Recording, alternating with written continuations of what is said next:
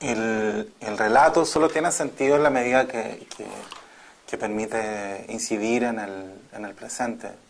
Le, le, le récit, au fond, n'a de raison d'être que dans la mesure où il permet d'influer sur le, le présent.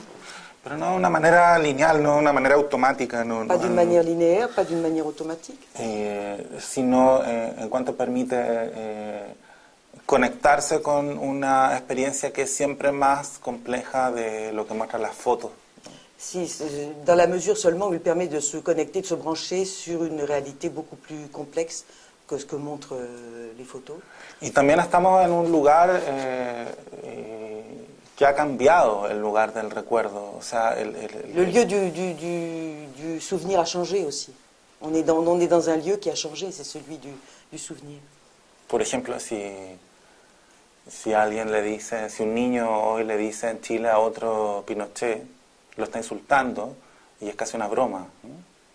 Maintenant, si un enfant traite un autre de, de Pinochet, pour l'insulter, c'est presque une plaisanterie, ça fait presque rire. Y si yo pongo en una novela, como pongo en Formas de volver a casa, o bueno, personajes secundarios, si yo pongo en una novela a Pinochet le gusta el pico, Mhm, Si je mets dans un roman un Pinochet, euh, Les Gusta el Pico, donc euh, Pinochet. eh ben, oui, c'est ça, c'était le- l'impossibilité de la traduction, impossible de traduire. pero ¿cómo lo tradujiste tú? Ah, non, je- Eh, Pinochet aime le pisco et, le, et il manquait le S Oui, dans pisco. Donc oui. euh, Pinochet aime le pico. Claro, si, si, si uno pone, si yo pongo eso, eso nadie va, se le va a ocurrir, bueno, habrá gente que se moleste, pero nadie va a censurar ni nada, ¿no? Si, si je mets ça dans un roman, que le Pinochet aime la queue ou que Pinochet aime le pisco, les deux, au fond, euh, peuvent être aussi euh, embêtants l'un que l'autre. Afortunadamente, Il y pero, a des gens qui peuvent prendre ça mal et il y a d'autres gens qui peuvent euh, l'accepter, mais c'est pas automatique. claro, pero- entonces ha cambiado mucho, pero hay que pensar eh, Ça a beaucoup changé. que, que hace 15 años, Mais il faut penser aussi que ça fait 15 ans, eh, o hace 20 años, o 20 hace 10 años, ou 10. eh, la sociedad chilena era muy distinta. eh, La société y chilienne el est très, di- très différente. pinochetismo sí existía como, como una corriente explícita. ¿no? Hoy si alguien es pinochetista eh, es casi motivo de escarnio. Euh, Pin- la courant- le, le courant euh, pinochetiste euh, existait comme quelque chose d'implicite. Aujourd'hui, euh, quand on est pinochetiste, c'est motif de, de- de dérision et de, et critique. es como una especie de excentricidad. C'est une, sorte d'excentricité, en fait.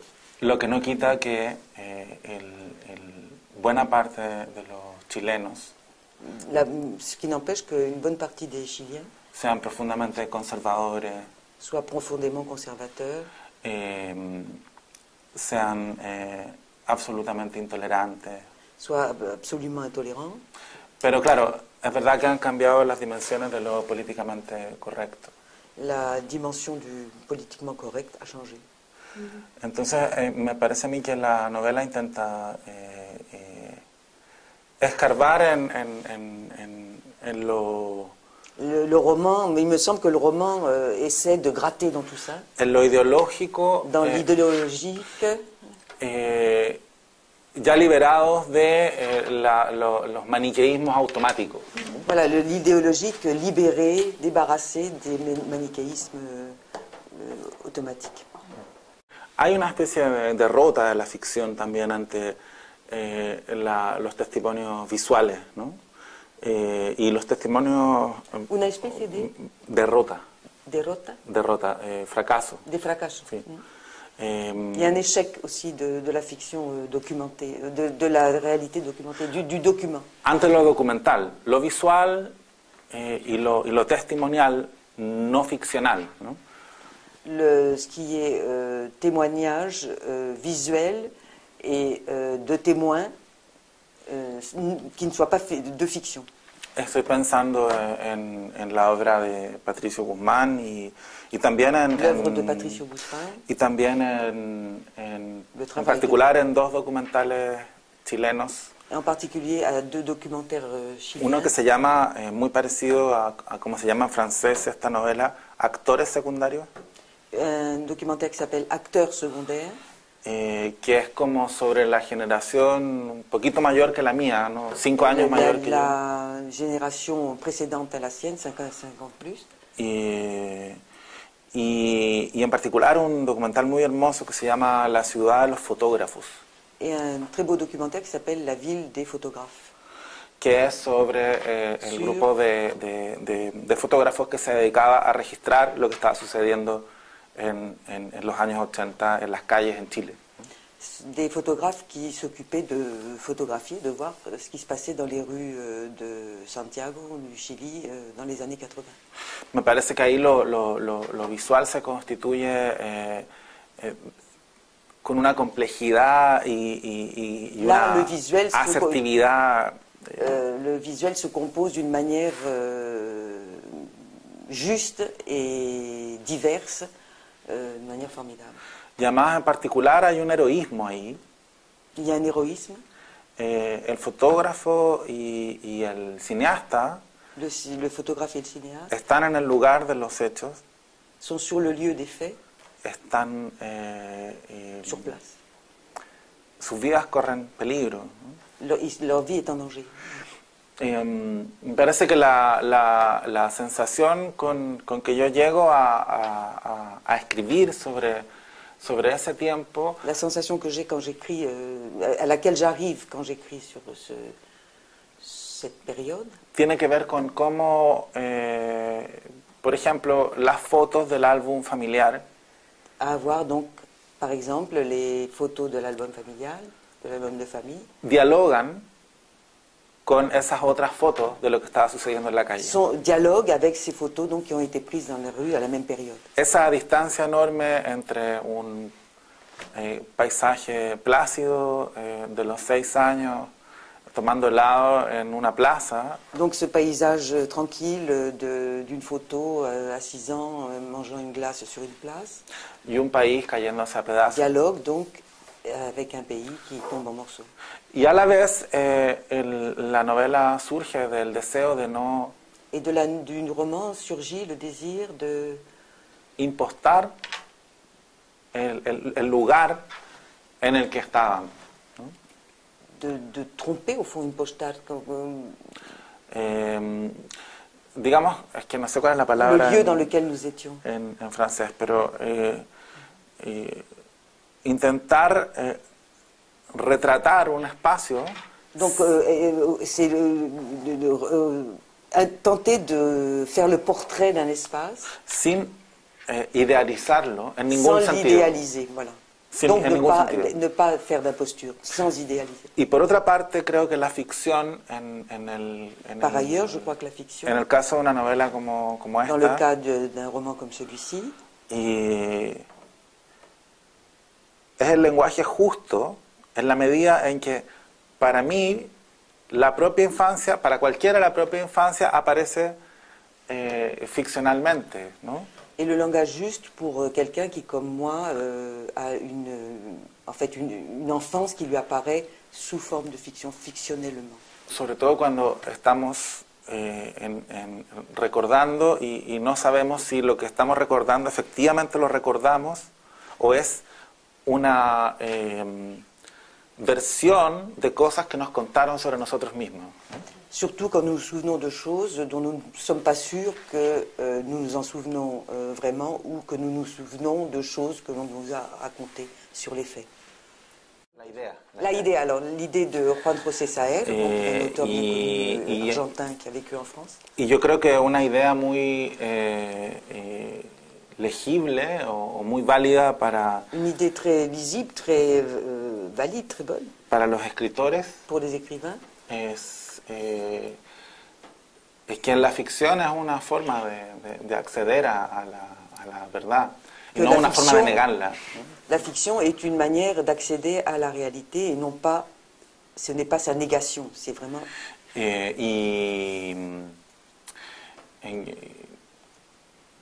no, no habría que, que- que pensar que la, que la verdad eh, y, la, y, la, ficción son antónimos, sino...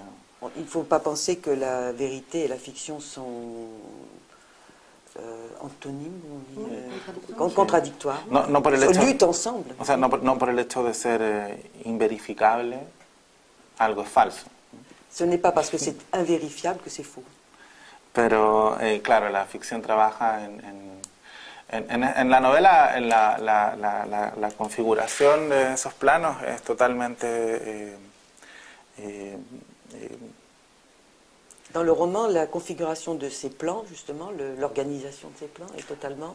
Eh, significativa en, el, en, en, la construcción de sentido, ¿no? Y, significative dans la construction du sens. Pero, pero, pero eh, no en cuanto haya que elucidar nada. Pas parce qu'il faudrait euh, élucider quoi que ce soit. Eh, si esto es verdad, si esto es mentira, no, no, no creo que eso tenga importancia real que ce soit vrai, que ce soit faux, ça n'a pas d'importance réelle dans la lecture. Salvo en la medida que construye un afecto. Sauf dans la mesure où je construis euh, un affect, Eso. un sentiment, une émotion. Para nosotros los terremotos son muy reales, ¿no? No solo... tremblements sont très réels, sont... son símbolos permanentes porque eh, sin querer... C'est un symbole permanent eh, bueno, en, nuestra sensación de la Tierra es una sensación inestable. Notre sensation de la est, est toujours euh, instable. Esto puede parecer muy anecdótico, pero no lo es. O sea, en, en Chile tiembla Ça peut mucho. paraître anecdotique, mais ce n'est pas. Ça, ça, ça, bouge tout le temps au Chili. Eh, hay otros países donde hay muchos terremotos. Il y a d'autres pays où il y a beaucoup y de no tiembla tanto. ¿no? Et ça ne tremble pas tant. México, claro, de pronto se, eh, se viene abajo, pero eh, la sensación... d'un, euh, ça s'écroule d'un coup. En, en Chile estamos muy acostumbrados a, a que la Tierra se mueva. Au Chili, on, est, on a tout à fait l'habitude que la terre bouge. Y por otra parte, eh, todos los chilenos crecimos escuchando el relato de algún terremoto. Et on grandit tous, tous les Chiliens, nous grandissons en écoutant un jour ou l'autre le récit d'un tremblement de terre. Cualquier generación tuvo uno o, o dos terremotos. ¿no? Chaque génération a connu un ou deux euh, tremblements de terre. Y yo llevo dos. Mi generación Moi, ça lleva fait dos deux terremotos. déjà. Eh, pero, eh, por ejemplo, yo, eh, a mí nunca me contaron cuentos de niño, pero eh, mi abuelita Pina, eh, Ma grand-mère Pina, on m'a jamais dit exactement quand j'étais petit le nombre de tremblements de terre que chacun avait connu, mais ma grand-mère había, Pina había perdido eh, a, a toda su familia en el terremoto de Chillán del año 39. Et ma, grand-mère Pina donc avait perdu toute sa famille dans le tremblement de terre de Pignan en Su papá, su 39. mamá, sus hermanos, y Son ella fue père, sa rescatada mère, de, ses, ses frères et sœurs. ella fue rescatada de los escombros por su, su Elle a été euh, sauvée des par son su hermano par- sobreviviente. euh, un frère euh, qui a survécu. Bueno, claro, tendría que ser sobreviviente si la rescató ella, pero... no, nada. Eh, entonces, eh, el- lo que sucedía es que mi abuelita nos contaba a mí y a mi hermana hi- historias sobre gente que había muerto en el terremoto. Donc ma, ma grand-mère euh, nous racontait 39. des histoires euh, à ma sœur et à moi, donc sur des gens qui avaient survécu à des tremblements de terre. Claro. Y, y a veces esas historias eran, a veces eran, eran muy divertidas, pero bueno, Quelquefois, elles étaient très drôles ces histoires, como las tragedias de Shakespeare, eh, todas terminaban eh, mal, porque mais comme les tragédies de Shakespeare, ça se terminait mal de toute façon. Eh, y, y entonces esa era la fuente literaria que yo tenía eh, eh, desde Donc ça, c'est la source littéraire que j'avais depuis mon enfance. De... Y, y creo que en alguna medida eso le, le sucedió a, a- a todos los chilenos. Donc ça arrive en fait à, à tous les, les Chiliens, cette histoire. De... Por supuesto, mi abuelita nos contaba esta historia y era después imposible que nos quedáramos dormidos porque ella se ponía a llorar y nosotros la consolábamos. Et donc c'est- ma grand-mère nous raconte ces, ces- histoires et après on pouvait plus s'endormir parce qu'elle se mettait à pleurer, donc il fallait qu'on la console. Donc, il fallait pas, la consolait, donc voilà.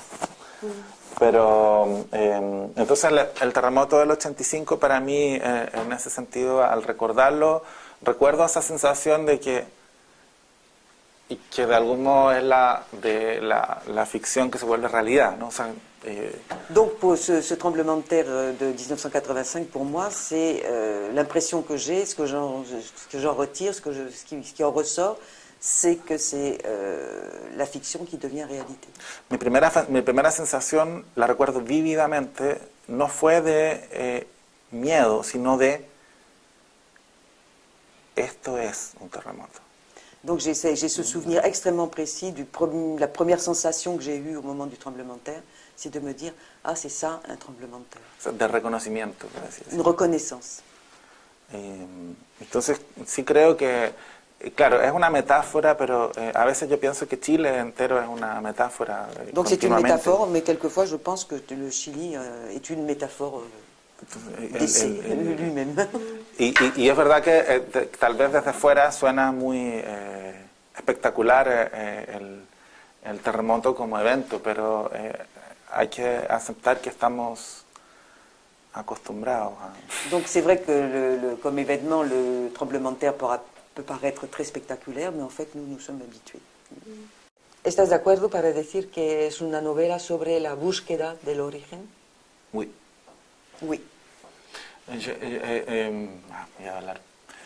Em, sobre el arraigo también, ¿no? Sobre la posibilidad de arraigo. racinement aussi. Eh, esa palabra me, me, me gusta para, para expresar el- lo que está sucediendo en, en, en, en- lo familiar, en lo social, en lo, en histórico, pour, euh, à propos de ce, qui, de ce qui se passe justement en, dans, le- dans la en- famille. en la historia, quiero decir, eh, La el- el- el- lo, Donc l'enracinement. lo que está sucediendo, también en, en- en el sentido de clases sociales. ¿no? Dans le Eh, sens aussi des classes sociales. eh, ¿a dónde, ¿Dónde pertenece el, el- el personaje? Tout ce à quoi appartient le personnage. Eh, y, y- y sobre todo, eh, y, y cómo, ¿cuál es su casa? ¿no? Est sa maison Cuando va a la casa de sus padres, en alguna medida también es, es- es cierto que, que, que no sabe bien cuál es su casa. Il ne sait pas bien quelle est sa maison. Hay una escena en La Estrada de Fellini en que ella dice, Il y a une scène de la Strada de Fellini. mira al horizonte y dice, Elle regarde l'horizon. ¿hacia dónde queda mi casa? Où est, Pregunta. où est ma maison Yo creo que esa es un poco la, la, la, la- la pregunta que, que le gustaría al narrador hacerle a alguien. ¿no? C'est la, la question que le narrateur aimerait poser à quelqu'un. Mediapart. Es una novela en la medida en que una novela nadie sabe muy bien qué es. C'est un es. roman dans la mesure où on ne sait pas très bien ce qu'est un roman. Eh, eh, no, no creo yo que haya una definición de novela y Il n'y a pas de définition de la nouvelle, je ne crois pas. eh, el escritor uruguayo Mario Leverero dice que L'écrivain euh, uruguayen Mario Levedero dit eh, una novela es cualquier cosa que se ponga entre tapa y contratapa. ¿no? euh, un, un roman, c'est euh, n'importe quoi que l'on mettra entre deux couvertures. Es un chiste, por supuesto, pero eh, sí creo que la novela, y, y es lo que a mí me parece atractiva, de, una de las cosas que me parece atractiva de la novela como forma es, es su, su indefinición. Ce qui me paraît euh, attirant dans la nouvelle, intéressant dans le, dans le roman, en fait, c'est euh, son, sa- sa façon d'être non définie. Y que todas las reglas que se formulan sobre la novela están hechas para ser quebradas. Et toutes les règles que l'on formule ou que l'on édicte sur le roman sont faites pour être euh, rompues, brisées, euh, contournées. Y en ese sentido, eh, la forma de la novela, yo, yo creo que la decisión, o para mí la decisión más importante en, en- en- relación a un libro es quién narra. La décision, pour moi, la décision la plus importante dans un livre, c'est de savoir qui raconte, qui fait le récit, en fait. En mi caso, ¿no? O sea, eh, eh, como problema de composición, yo diría que el problema de composición que me resulta más complejo es quién va a contar esta historia. Voilà, le problème de la composition du roman qui est pour moi le plus complexe, c'est qui va raconter, euh, qui va être le narrateur qui va raconter cette histoire. Y la elección de la primera persona eh, tiene que ver con, con, un, con un efecto que a mí me interesaba indagar. Et le choix de la première personne, euh, c'était pour moi euh, voir le- l'effet euh, que j'allais, que dont, j'allais faire l'étude en fait, indagar, sur lequel j'allais enquêter. Lo que yo quería era eh, una, una, una, una, un permanente, eh, la permanente presencia de la incertidumbre, por así decirlo. Voilà. Donc la, la per- ce que je cherchais, c'était la, la- la présence permanente de l'incertitude. Yo pienso que la incertidumbre eh, está tanto en, en el pasado como en el presente, ¿no? O sea, L'incertitude est autant dans le passé que le présent. en, en la incertidumbre del, del- del- del sujeto que recuerda, Du sujet qui se souvient, que eh, intenta construir un, un- un relato qui essaie de construire un ré- récit, y está consciente de cuáles son las eh, eh, de, de cuáles son las dimensiones de su ejercicio. Il est conscient de- des dimensions que prend son exercice, que possède son exercice. de, de la posibilidad de impostar, eh, de la posibilidad de mentir. De la possibilité d'être un imposteur, de la possibilité d'être un menteur, y eh, de la imposibilidad de- de- del, del relato eh, positivo, eh, del relato em, et de em, l'impossibilité du, ré- du récit positif, du récit correcto. correct. O sea, la, la imposibilidad de la memoria en la construcción del relato. Creo que La possibilité du- de la mémoire, impossibilité du récit. a mí me interesaba más allá de- del, del ejercicio eh, de memoria mismo, em, J'étais plus intéressée dans l'exercice même de la mémoire, de la mémoire elle-même, eh, mostrar esa incertidumbre en, en- en la intimidad de un sujeto. montrer cette euh, incertitude dans l'intimité d'un sujet, dans le- l'être profond d'un d'un sujet. Entonces la elección de la primera persona, eh, claro, en ese sentido eh, fue la, la elección más importante al momento de empezar a escribir. Donc le, le choix de la première personne a été le choix le plus important au moment de commencer à écrire. Pero eh, eh, también eh, eh, es verdad que en la novela al menos hay dos primeras personas. ¿no? Bien c'est vrai que dans le roman, il y a deux premières personnes. Me interesaba poner eh, eso en conflicto ¿no? Ce qui l'intéressait, de c'était de mettre tout ça en conflit. y eh, combatir eh, la primera persona a la vez que construirla. Combattre la première personne en même temps qu'il la construisait.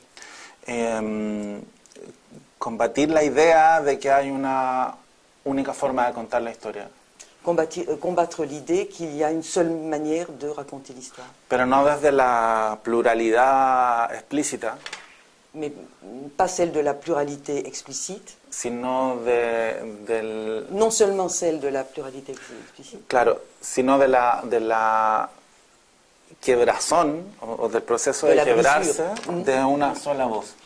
Esa- la brisure d'une seule voix en, en éclat. Por una parte eh, hay una eh, existe esa pluralidad y por la otra eh, hay una Alors d'une part, il y a una sensación de duelo, pienso yo. una, una qué, des duels Duelo, una sensación de Una- duelo. alors, D'un côté, il y a cette sensation de plu- pluralité, mais il y a aussi, de l'autre côté, cette sensation de euh, deuil. La mm, literatura creo yo que siempre muestra la complejidad de, de- de la realidad de las cosas. La réalité, euh, la littérature montre toujours la complexité de la réalité des choses. Nunca, nunca simplifica. Elle ne simplifie jamais. Y, y en este caso, eh, por ejemplo, a mí me interesaba mucho construir una reflexión eh, sobre, sobre el dolor, Donc c'était aussi ce qui l'intéressait, c'était de ce qu'il voulait, intéressant, mais ce qu'il voulait, c'était construire une, euh, construire une, euh, Réflexion. une réflexion, une réflexion sur le- la douleur, eh, que, que mostrara eh, cómo el, el- el- que mostrara lo difícil que es eh, eh, qui montrerait combien c'est difficile de experimentar eh, colectivamente eh, un, un mismo d'éprouver duelo, collectivement un même deuil. considerando C'est vraiment éprouver, sentir. y, y a la vez considerando que, que básicamente la sociedad chilena desde eh, entonces hasta ahora, digamos desde el, desde el año 73 Alors, en adelante, que dans le- la société chilienne de- de- d'al- de- d'alors jusqu'à présent, eh, ha vivido eh, en, en- en función de, la de- société chilienne a vécu en fonction de esa violencia. de cette violence y se ha preguntado eh, durante todos estos años cómo, cómo experimentar el, el duelo. Et s'est demandé pendant toutes ces années comment euh, éprouver, ressentir le, le deuil. Mediapart. Durante el tiempo en que yo escribí esta novela, eh, Pendant le temps où j'ai écrit ce roman, eh, tuvo mucha importancia unos diálogos que, que tuve con Cristian Jiménez, donc, j'ai- ont eu beaucoup d'importance des dialogues que j'ai eus avec Christian Jiménez, qui est, que es ¿Quién el, el director de la película Bonsai. donc, qui est le metteur en scène de- du film Bonzai, qui été fait à, Et- à partir de son premier roman, y que en ese tiempo estaba escribiendo el, el guion. et qui à l'époque euh, écrivait le scénario. Entonces lo que sucedió es que él iba a mi casa y me hacía preguntas sobre el, el- el- sobre bonsai Donc euh, à, à cette époque, il venait chez moi, il me posait des questions sur euh, ce roman Bonzai, y, y nos fuimos haciendo amigos. Y- y- et on est devenus copains. entonces sí hubo un, un momento que yo me, me- me- nos juntábamos a ver películas. Donc euh, on, se, on se retrouvait pour regarder des, des films. Y para mí fue muy bueno eh, y muy nuevo ver películas con un director de cine al lado. ¿no? Et pour moi, c'était très nouveau, très, très intéressant de regarder des films avec, assis à côté d'un metteur en scène de, Y, de, de cinéma. y eso me, me- me- A mí me interesa mucho eh, cómo esa- ese, ese supuesto antagonismo y, y esa diferencia específica de la literatura. Donc, euh, je suis très intéressée, ça, ça, me, ça me passionne, cette, cette idée de- de- d'antagonisme, euh, de, de différence entre la por- littérature porque la, la- la vieja pregunta estructuralista, eh, de, ¿qué es lo literario? Donc, c'est la vieille literariedad. question euh, de structuraliste, qu'est-ce que la littérature, qu'est-ce que la littéralité, euh, etc. Entonces creo que en formas de volver a casa eh, eh, hubo un, Donc, dans, dans Personnage Mm. secondaire, il y a eu... un intento de, de, de acercarse cada vez más eh, De y de huir de de lo plus- visual. ¿no? de, de s'approcher plus en plus et de fuir en même temps le, le visuel. Lo que paradojalmente tiene que ver con que hay una serie de referentes visuales en, en, libro. Donc c'est euh, pour ça qu'il y a une série de références, de référents, enfin de, de, de points euh, référents de, visuels dans le, dans le livre. Como eh, lo que tú mencionabas, la, la, la, la aparición o el cameo de eh, Doctor House, o no sé, eh, se mencionan películas de Wes Anderson, de Wong Kar Wai, eh, y, y sobre todo una película que sí tiene que ver eh, particularmente con el libro y que está mencionada como al pasar.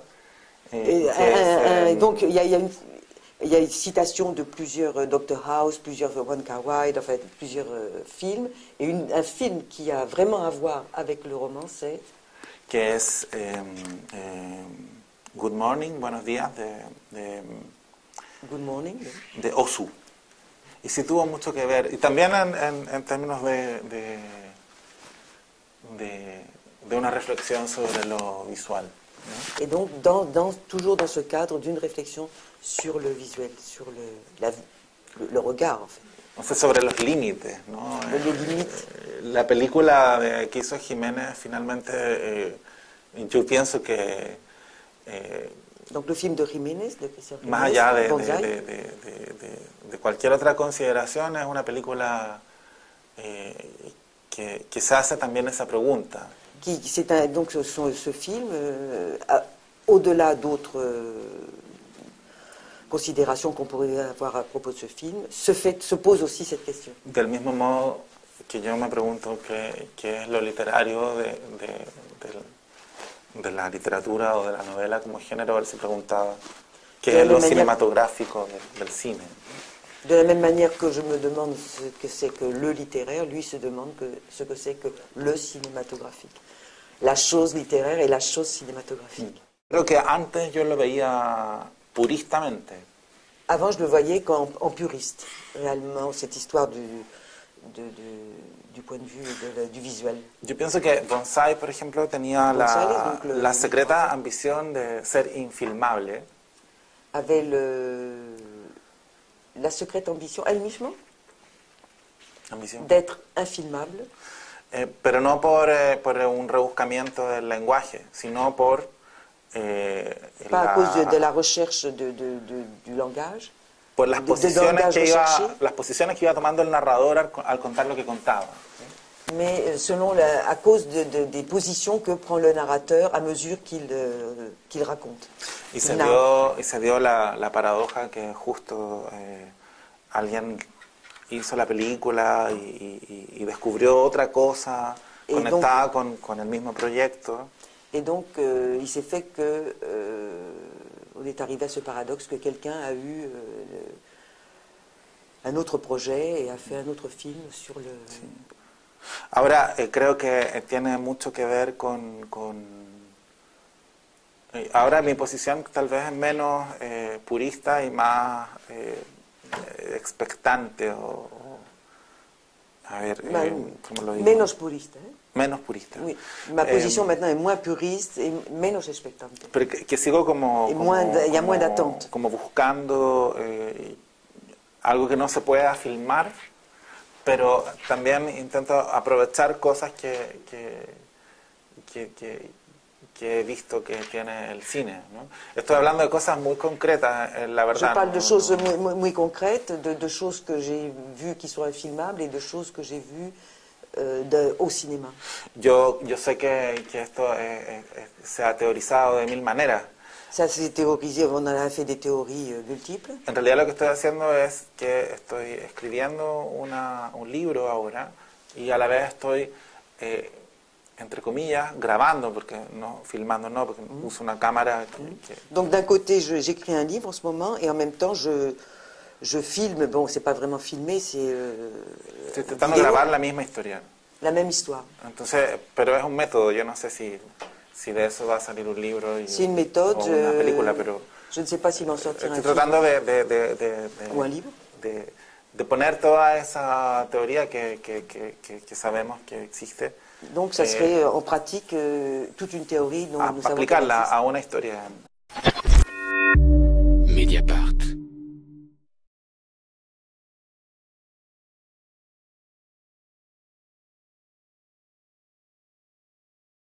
C'est le, travail du traducteur.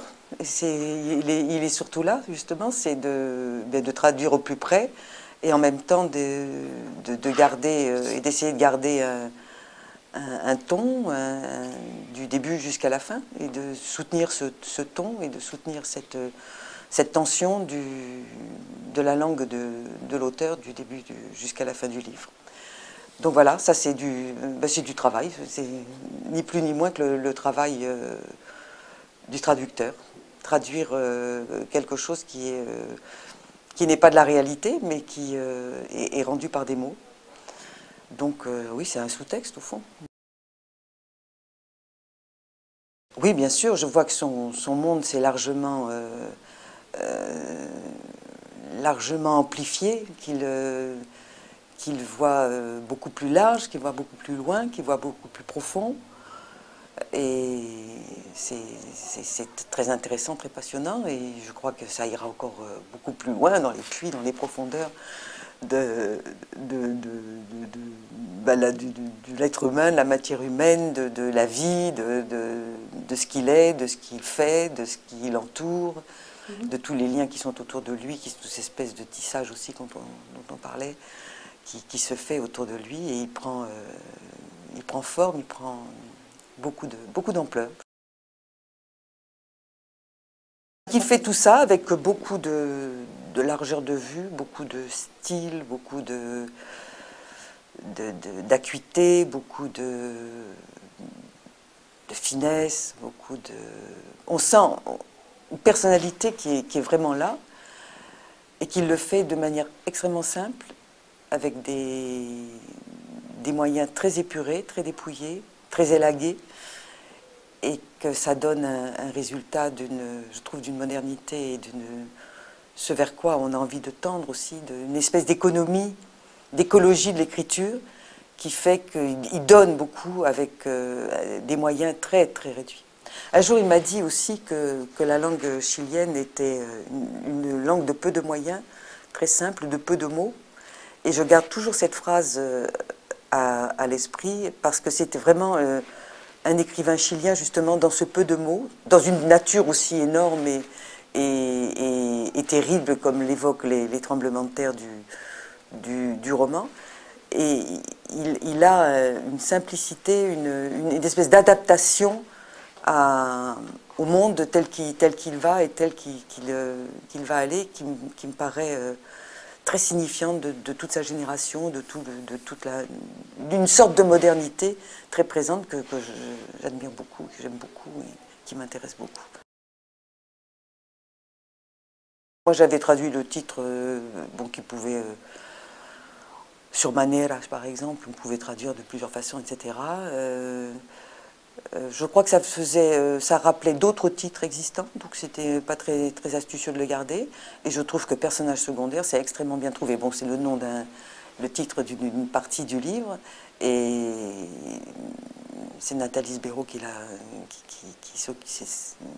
l'éditrice en fait du livre chez, chez l'Olivier, qui l'a proposé. Et je pense que c'est très, très, très astucieux, très affûté, très, très bien.